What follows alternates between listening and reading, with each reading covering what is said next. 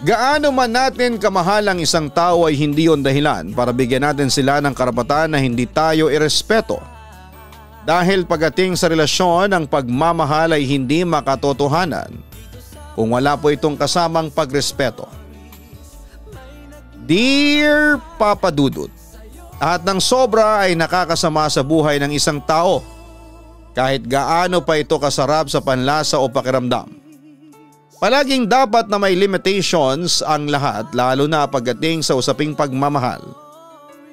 Magandang araw Papa Dudut at sa lahat ng mga gising pa sa ngayon. Mikaela na lamang ang itawag niyo sa akin, 29 years old na ako at nagtatrabaho sa isang publishing company. At matagal na rin po akong loyal subscriber dito sa Rizal. Dati ko pang gustong sumulat sa inyo para magbahagi ng aking kwento pero pinangunahan lamang ako ng hiya at takot papadudot. Hindi rin kasi biro ang pinagdaanan ko sa parteng ito ng buhay ko. Pero dahil alam ko na makapagbibigay din ako ng aral at inspirasyon. Lalo na sa mga kaistorya na minsang nabulag sa pagmamahal Heto ako ngayon at naglalakas loob na sumulat sa inyo. Nasa third year college ako noon nang maging boyfriend ko si Maki Papadudut. Tumagal ang relasyon namin ng halos tatlong taon. Hanggang sa magkaroon na kami ng kanya-kanyang trabaho. Si Maki din po ang first boyfriend ko. First na nakaka HHWW at nakakuha ng aking first kiss. Noong panahon na yon, siya na rin ang nasa isipan ko na pagbigyan ng sarili ko. Pero gusto ko sana noon na mangyari yon pagkatapos naming ikasal papadudot.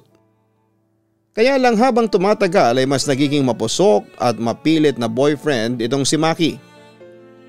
Hanggang sa mag-celebrate kami ng aming third anniversary sa kwarto niya. Pinaghanda niya ako ng maliit na cake, soft drink at pansit canton. May regalo pa siyang teddy bear sa akin. Sobrang saya ko na na sa simpleng selebrasyon na yon ay magkasama pa kami. Hanggang sa simulan akong halikan ni Maki at hubaran. Doon ko na siya pinigilan pero kaagad naman siyang nagalit sa akin. Maki sorry. Alam mo naman na hindi pa ako handa sa mga ganitong bagay. Malumanay na wika ko. Eh bakit pala sumama-sama ka pa dito sa kwarto ko kung hindi mo rin naman pala ibibigay ang gusto ko? Mikaela, third anniversary na natin ngayon. Palagi na lang tayong ganito nakakasawa na. Inis na sabi niya. Sorry na. Natatakot lang naman talaga ako eh. Huwag ka nang magalit sa akin babe. Wika ko. Paano kung hindi magagalit? Tatlong taon na tayong magkarelasyon. Pero parang hindi ka pa rin nagtitiwala sa akin. Pero sa bagay, baka hindi mo lang talaga ako ganun kamahal. Wika pa niya. Hindi totoo yan. Mahal kita Maki, sobrang mahal kita. Giit ko naman. Puro ka naman salita Micaela. Pero hindi mo naman alam kung paanong iparamdam yung mga sinasabi mo. Sige na ayusin mo na yung suot mong damit. Iyahatid na lang kita sa inyo. Utos niya. Maki mag-aaway ba tayo ngayong anniversary natin? Sige na nga. Pumapayag na ako sa gusto mong mangyari ang sabi ko sa kanya. Kagad naman na umaliwalas ang mukha niya. Talaga seryoso ka ba dyan sa sinasabi mo? O baka naman bibitinin mo lang ako? Tanong niya. Oo seryoso ako. Basta huwag mo kong iiwanan pagkatapos nito ha. Mahal na mahal kasi kita Maki. At hindi ko kakayanin na mawala ka sa buhay ko. Wika ko. Pangako Mikaela. Kahit kailan hindi ako mawawala sa buhay mo. At hinding hindi mo pagsisisihan ng mangyayari sa atin sa araw na ito. Tugon naman niya.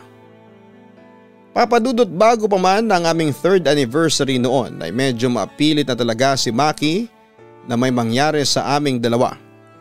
Sa tuwing kaming dalawa lang ang magkasama ay palagi niya akong hinahalikan.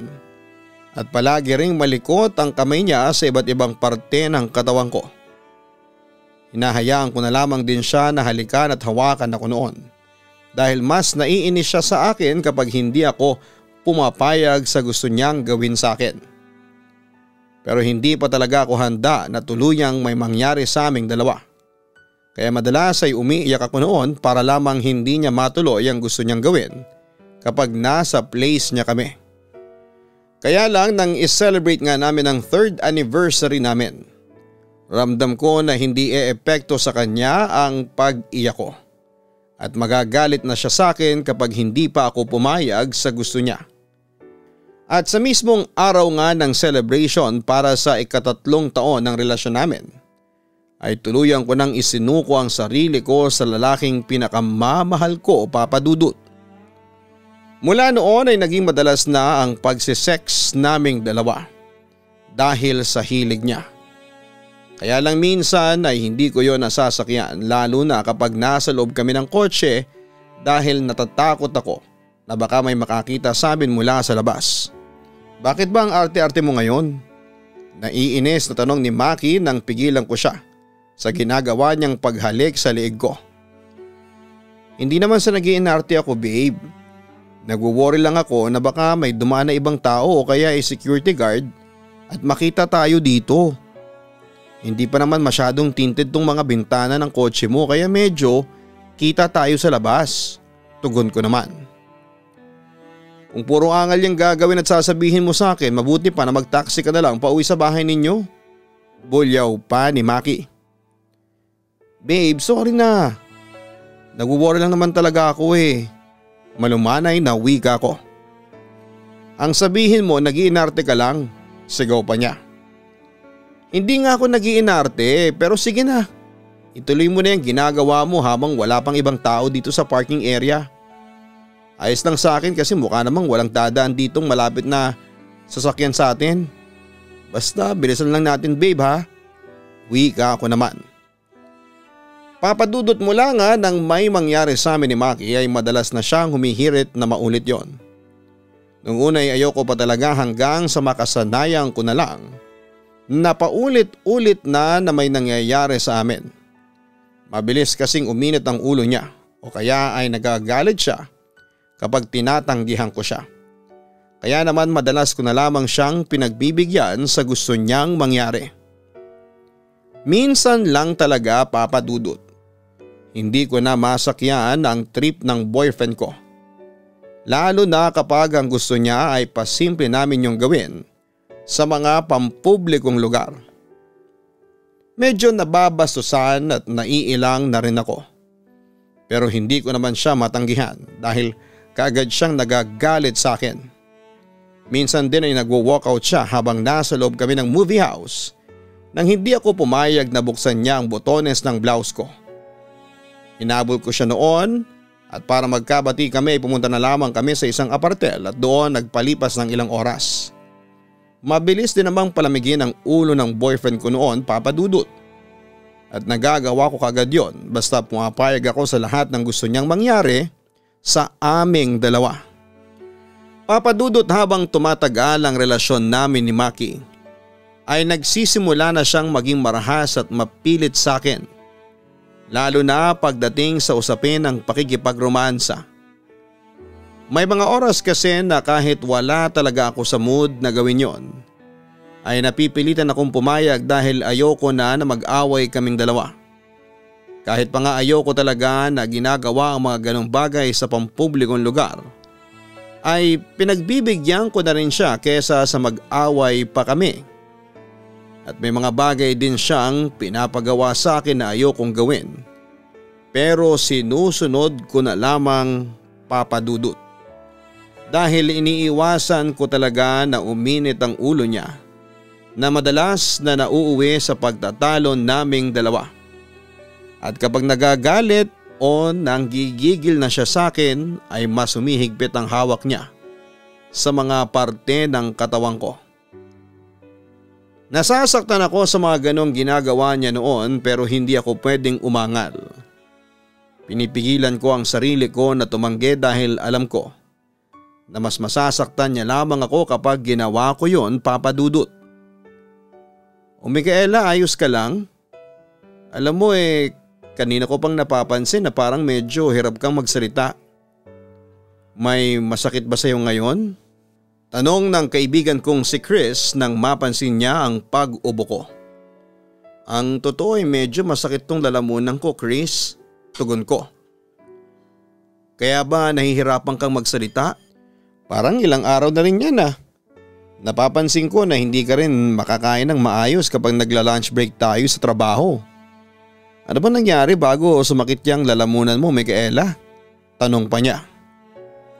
wala naman kakaibang nangyari bago humap dito. Baka ano lang, baka masyado lang matatamis ang nakain ko nitong mga nakarang araw. Kinakabahang sagot ko.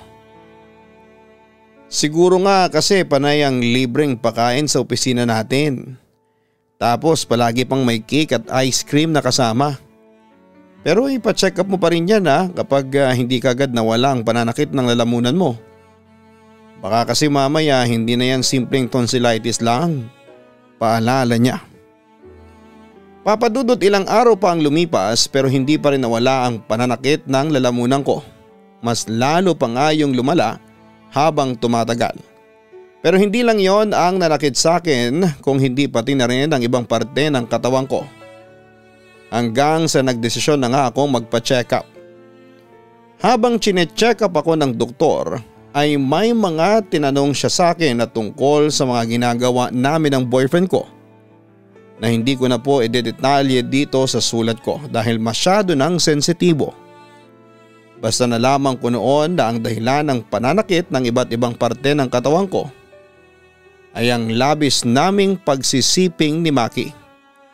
Sinabi rin ng doktor na dapat kapag alam kong nasasaktan na ako ay hindi na ako pumapayag sa gustong gawin sa akin ng boyfriend ko. Mabuti na lamang at babae ang doktor na nag-check up sa akin dahil medyo nahihiya talaga ako habang kausap ko siya at pinapayuhan niya ako. Pagkatapos ng pag-uusap naming yon ang doktor ko ay niresetahan niya ako ng mga gamot papadudot. Binili ko yon lahat at kagad ko namang naramdaman ang mabuting epekto noon sa katawan ko nang mainom ko sa tamang oras hanggang sa tuloy na ring nawala ang mga iniinda kong sakit ng panahon na yon papadudot. Babe, pwede bang wag muna ngayon? Tanong ko nang simulan akong halikan ni Maki sa leeg. Nandun ako sa apartment niya at yakap at mga halik agad ang sinalubong niya sa akin. Hindi rin kasi maganda ang pakiramdam ng katawan ko dahil kakatapos lang ng menstruation period ko. Hindi pwede babe, namimiss na kita ng sobra. Tugo naman niya na patuloy sa paghalik. Babe, tama na, ayaw ko talaga muna ngayon. Wala talaga ako sa mood saka masakit pa ang katawan ko. Muling pakiusap ko. Akong bahala sa iyo. Mapapalitan natin ang mood mo kapag hinubad mo na tong mga damit mo. Pagpupumilit pa niya. Maki, tama na. Ayoko kasi talaga munang gawin to. Wika ko pa. Lintik naman oh, Mikaela. Bakit bang dami mong arte? Bulyaw niya. Sorry talaga Maki. Kakatapos lang kasi ng period ko kahapon. Kaya ayoko sana munang may mangyari sa atin ngayon. Alam mo naman na medyo nasasaktan ako kapag ginagawa natin to ng dikit sa uling araw ng dalaw ko. Paliwanag ko pa. Eh ako naman ang kikilos at wala kang ibang gagawin kundi ang sumunod lang sa lahat ng sasabihin ko. Tapos ang dami mo pang kinukuda dyan. Pasalamat ka nga kasi sa ilang taon na relasyon natin kahit kailan, hindi ako tumikim ng ibang babae. Pero dahil sa pag-iinarte mong yan eh binibigyan mo ko ng dahilan na mambabae. Naku mas mabuti pa nga kung umalis ka na lang dito sa ko kasi nakakasira ka lang ng araw. Diyan ka na nga. Matutulog na lang ako sa kwarto. Buisit, sigaw pa niya bago ako iniwanan sa kwarto. Papadudot na iwan ako sa may sala ng place ni Maki na naiiyak na rin dahil sa naging pagtatalo namin. Naisip ko rin noon na may point ang sinabi ni Maki na swerte ako sa kanya. Dahil ni minsan ay hindi kami nagkaroon ng issue na third party sa relasyon naming dalawa. Hindi ko siya nahuling ng babae o kahit man lang tumingin sa iba habang magkasama kaming dalawa. At yon ang isa sa mga pinaka minahal ko sa kanya. Yung pagpaparamdam niya sa akin na ako lang talaga ang babae na gusto niyang makasama sa buhay niya. Kaya naman papadudot kahit masakit pa talaga ang katawan ko noon. Dahil nga kakatapos lang ng dalaw ko ay ako nang nag-effort na magkabati kami ni Maki. Pumasok ako sa kwarto niya at ako naman ang naglambing sa kanya. Ginawa ko na po ang mga bagay na alam kong gusto niyang gawin ko hanggang sa tuluyan na ngang may mangyari sa aming dalawa ng araw na yon. Papadudot. Sa paglipas pa ng halos isang taon sa relasyon namin ni Maki, ay nararamdaman ko na mas nagiging agresibo at marahas siya sa bawat kilos niya sa tuwing nagsisiping kami. Mas sumihigpit ang hawak niya sa akin at may mga pinapagawa din siya na minsan ay hindi ko na talaga nagugustuhan pero sinusunod ko pa rin. Bukod kasi sa pagmi-make out sa mga public place ay hilig din ni Maki na manood ng mga malalaswang video. At ang mas malala pa doon ay gusto niya na sinasabayan namin ang ginagawa ng mga tao na nasa malaswang video hanggang sa matapos siya. Nung una ay ayoko talaga sa ganong trip niya. Pero kagaya ng dati wala rin akong ibang nagawa kung hindi ang sundin ang gusto niyang ipagawa sa akin. Kaya lang papadudot kapag pumayag ako ng isang beses sa gusto niyang mangyari. Uulit-ulitin niya yung ipapagawa sa akin at hindi siya hihinto hanggat hindi pa siya nagsasawa. Kagaya na lamang ng paghalik at hipo niya sa akin sa loob ng kotse Nasa harapan na kami ng opisina ko noon kaya pilit ko na siyang pinipigilan. At kagaya ng dati, kaagad siyang nainis at pilit akong tinulak palabas ng kotse niya hanggang sa mahulog ako bago siya mabilis na magmaneho paalis. Micaela, ano nangyari sa iyo? Teka, kotse yun ni Maki ah. Huwag mong sabihin na tinulak ka niya palabas ng kotse niya. Napakahayop naman ang ugali ng boyfriend mo na yan. Gigil na inis na wika ni Chris nang malapitan ako. Hindi niya ako tinulak palabas ng kotse. Natisod lang ako kaya napaupo ako dito sa semento pag sisinungaling ko. Pwede ba wag mo na siyang ipagtanggol? Alam ko naman na matagal ka na niyang sinasaktan. Sabi ko naman kasi sa iyo na hiwalayan mo na yung lalaking yan. Halika na nga at aalalayan na kitang makatayo. Ang wika pa ni Chris. Papadudot nang maalalayan ako ni Chris na makatayo at medyo nahirapan ako maglakad dahil malakas pala ang pagkakabagsak ko sa sementadong kalsada. Nagkaroon ng kaunting gasgas ang binti ko na kaagad ko rin namang nagamot.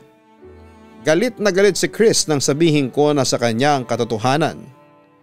Hindi ako madalas magkwento sa kanya ng tungkol sa relasyon namin ni Maki dahil ayokong siraan ng boyfriend ko sa ibang tao pero Sinabi ni Chris na kahit na hindi ko sabihin sa kanya ang mga detalye na tungkol sa amin ni Maki. Alam niya naman daw na nasasaktan ako physically at mentally ng boyfriend ko. Kaya dapat daw ay hindi ko na pinapatagal pa ang relasyon naming dalawa. Pagkatapos naman ng naging pagkatalo namin ni Maki ay hindi niya ako tinex o tinawagan pa papadudot.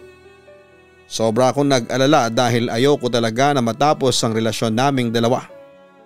Si Maki ang first boyfriend ko at may pangako ako sa sarili ko na kung sino man ang unang lalaki na pagbibigyan ko ng aking sarili noon, siya lang gusto kong makasama sa panghabang buhay.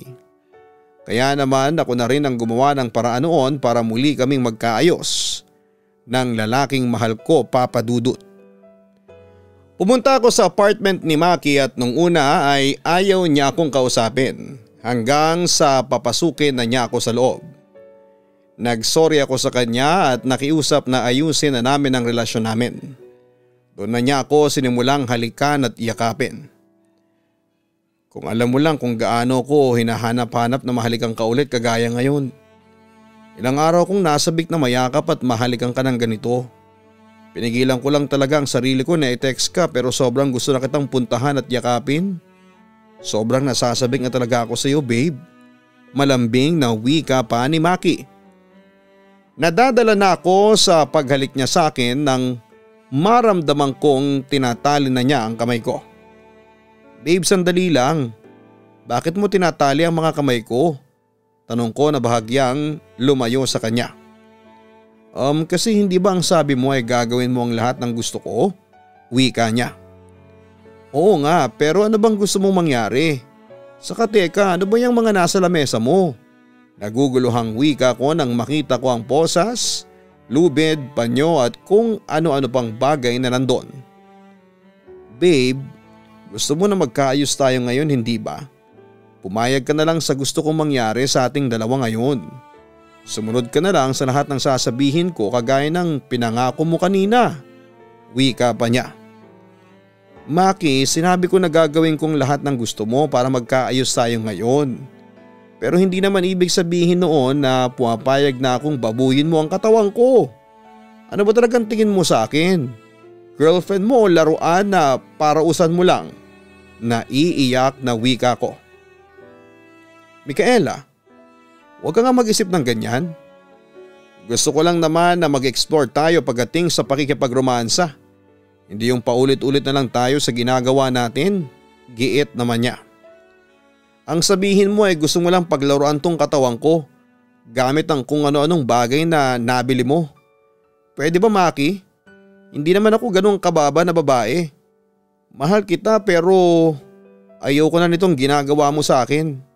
Nakakababa na ng pagkatao ko. Dahil paulit-ulit mong pinaparamdam sa akin na ginagawa mo lang akong parausan.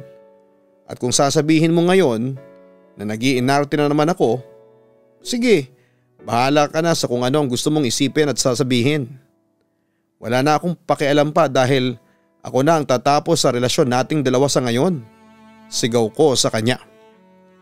Papadudot nang makita ko ang mga gamit na nasa ibabaw ng lamesa ni Maki na madalas ko ring nakikita sa malalaswang video na pinapanood niya ay hindi ko na talaga napigilan ang sarili ko na magalit. Nagalit ako dahil alam ko na ang gusto niyang ipagawa sa akin at ang gusto niyang mangyari sa aming dalawa ng araw na yon. Pagkatapos ko ngang sabihin na ako naman ang nakikipaghiwalay sa kanya ay pinigilan niya pa ako noon na umalis sa place niya. Siya naman ang nakiusap sa akin na ayusin namin ang relasyon naming dalawa. Niyakap niya ako ng mahigpit pero ako na ang kumawala mula sa yakap na yon. Sinabi ko sa kanya na pagod na ako sa kung ano man ang relasyon na gusto niyang magkaroon kaming dalawa. Sinabi ko rin na pagod na akong mahalin siya kaya ayoko nang makipag-ayos pa sa kanya.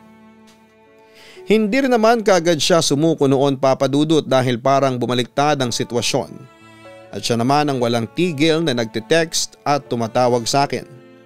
Sobrang pinigilan ko rin talaga ang sarili ko na pumayag na magkita ulit kami. Dahil alam ko na na pwedeng bumigay na naman ako sa gusto niya kapag nagkaharap na kaming dalawa. Mahal ko pa talaga siya ng mga oras na yon. At pinanghihinayangan ko pa rin ng halos apat na taon na naging relasyon namin. Pero siguro ng mga oras na yon papadudot ay nagising na lamang ako bigla sa katangahan ko. At na-realize ko na oras na para mahalin ko naman ang sarili ko. Masyado nang masakit yung pagpaparamdam niya na para bang isang mababang uri ng babae ang tingin niya sa akin. Ilang taong ko rin siyang hinayaan na halos babuyan ang katawan ko. At siguro ay sapat na yon para ma-realize ko na oras na para sarili ko naman ang mas pahalagahan ko. Isang buwan pa ang lumipas noon bago tuluyang sumuko si Maki sa pagsuyo sa akin papadudot. Siguro ay nararamdaman niya na hindi na talaga ako babalik sa kanya. Naiiyak pa rin ako noon sa tuwing maaalala ko ang naging relasyon naming dalawa pero hanggang doon na lamang yon. Dahil kailanman ay hindi na ako muli pang bumalik sa kanya. Si Maki ang first boyfriend ko na inasahan ko noong makakasama ko na rin sa panghabang buhay. Kaya nahirapan ako na muling magtiwala sa ibang lalaki noon papadudot. Pero siguro ay alam ng pong may kapal kapag sobra nang nasakta ng isang tao. Dahil nang muli akong pumasok sa isang relasyon ay hindi ko na yon pinagsisihan pa. Ngayon po ay kasal na ako at may isa ng anak ng asawa ko.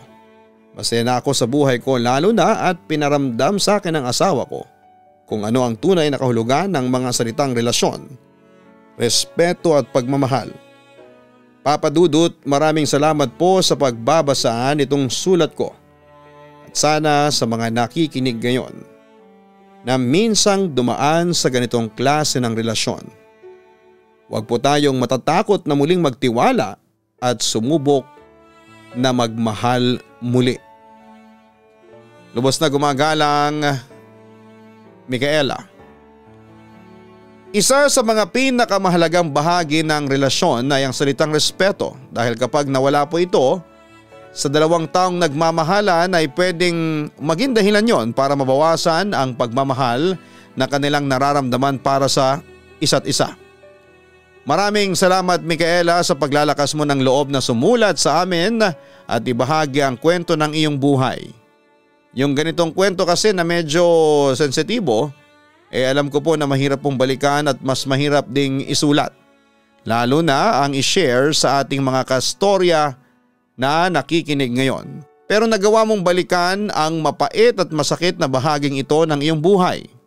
Nasigurado ako nakapag-iwan naman ng malaking aral at inspirasyon sa mga kastorya nating nakikinig ngayon.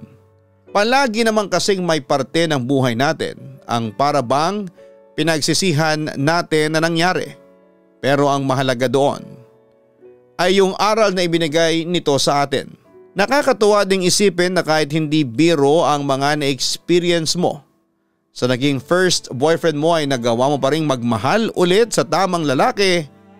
Ganon kasi ang buhay Mikaela. Bago natin mahanap ang ating panghabang buhay ay may mga pagsubok tayo na kailangang pagdaanan at malalampasan.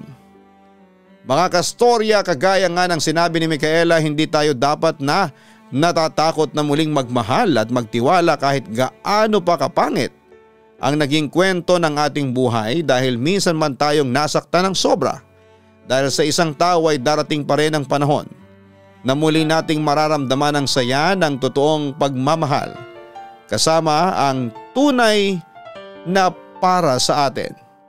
Hanggang sa muli maraming salamat po sa inyong lahat. Ay mahiwaga. Laging may lungkot at saya. Sa papadudod stories Laging may karamay ka.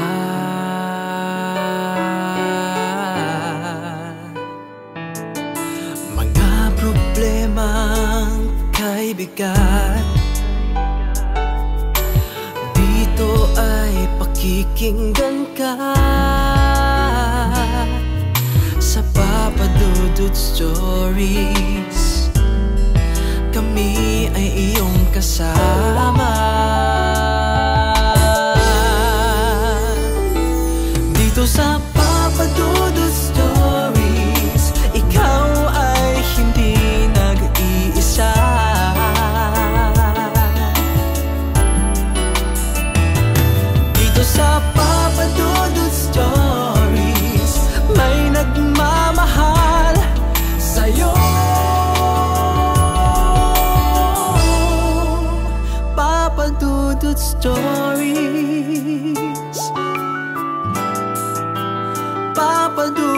就